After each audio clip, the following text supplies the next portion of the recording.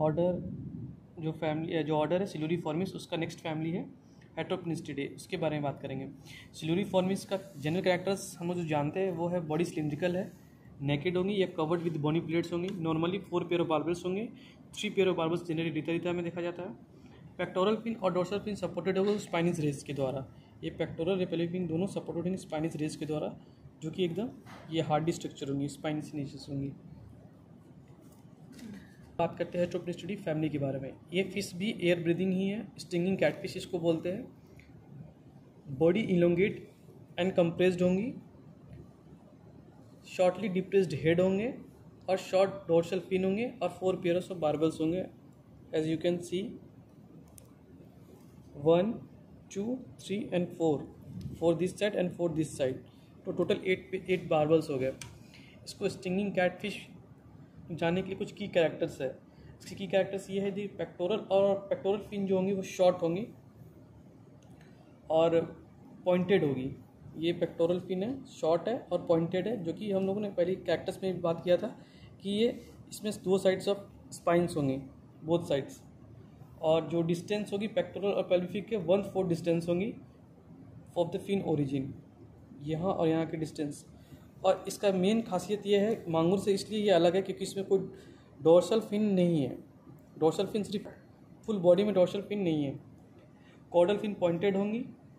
Eyes larger than six times और less than the head times था? और इसकी जो आइज़ है, वो one by six times small होगी हेड के कंपैरिजन में। मेनी जो की करेक्टर है इसमें इसका dorsal fin not confident with लेकिन ये बहुत सारे फिन डोर्सल डोर्सल फिन छोटे होंगे जो कि लंबे नहीं थे जो कि हम लोगों ने क्लैरियस मांगूर में देखा था इसमें छोटे हैं।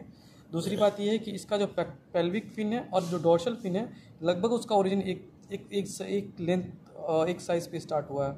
यहाँ पे भी इसका है और यहाँ पे भी इसका है। और सिर्फ़ एनाल फिन लॉन्ग होंगे इसके। और राउंडेड कॉडल फिन होंगे। दोनों साइड में एज है। जनरल कैरेक्टर अगर पहचाने का तरीका मांगूर का और हेट्रोपनिस फॉसलिस एयर ब्रीदिंग कैशफिश का तो ये है कि इसमें सिर्फ़ डॉर्सल फिन नहीं है, उसमें डॉर्सल फिन है। मेन यही है कि डॉर्सल फिन है डॉर्सल फिन है बट वो इलोंगेट नहीं है शॉर्ट है। बट मांगूर में डॉर्सल फिन है, वो इलोंगेट है। और लगभग डॉर्सल पेल्विक फिन और डॉर्सल फिन का ओरिजिन लगभग एक साइज़ टाइप से हुआ। है एक ही इक्वली डिस्ट्रीब्यूटेड अपोजिट डायरेक्शन से। एनाल फिन एनाल फिन इसकी लॉन्ग है but not confluent with the caudal fin और यहाँ पे एक छोटी सी नोच बनेगी। ये नोच ये जो कि मांगूर में भी नोच बनी हुई थी, और ये कॉडल फिन राउंडेड होंगे।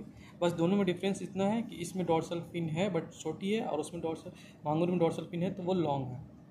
और बाकी कैरेक्टर सेम है। और इसकी जो डॉर्सल फिन की जो ओरिजिन है, वो पेल्विक फिन की लगभग अपोजिट डायरेक्शन में की जैसे ही है, और और मांगूर में, उससे आगे बढ़कर है। तो ये मांगूर और बेटेकस का सही की डिफरेंस है।